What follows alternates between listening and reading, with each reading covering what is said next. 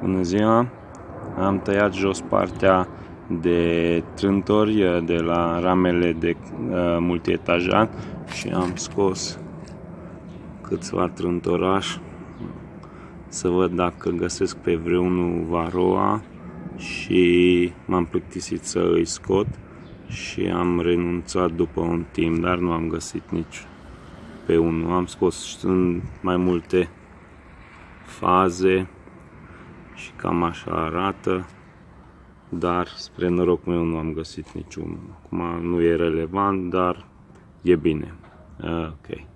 O să continui când ne pregătim pentru să Am înflorit sacămul, după cum ziceam, chiar mai repede de cele 80 zile care a, ziceam săptămâna trecută, deci în Cluj deja e înflorit, în weekend am fost în Mureș, după Târgu Mureș spre Bălăușeri era înflorit, lângă autostrada, lângă Turda, o bucată uriașă de rapiță era în floare, deci se suprapun toate una peste alta cu căldura asta de uh, iunie, chiar iulie dacă mă gândesc bine, la începutul lui mai, sfârșitul lui aprilie, cam toate florile se vor suprapune. O să vedem și teiul, uh, sunt chiar curios în zală, ziceam că o să înflorească aproape de uh, salcâm, dar într-adevăr că uh, florile sunt gata, doar trebuie să se deschidă. Asta nu o să dureze o lună de zile, deci ziceau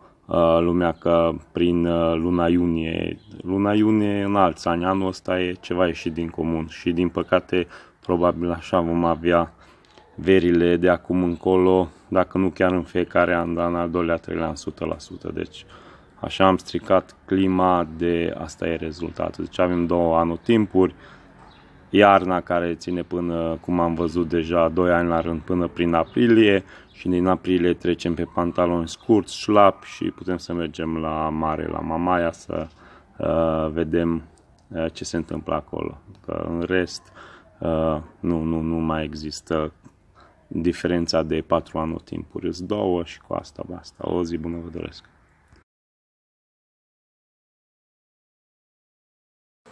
Iată și zborul de orientare. Acum se orientează albinuțele tunere care vor începe lucrul și acum se orientează. Deci cam așa arată o orientare undeva pe la ora 2, 2 și 20 de minute, cam așa.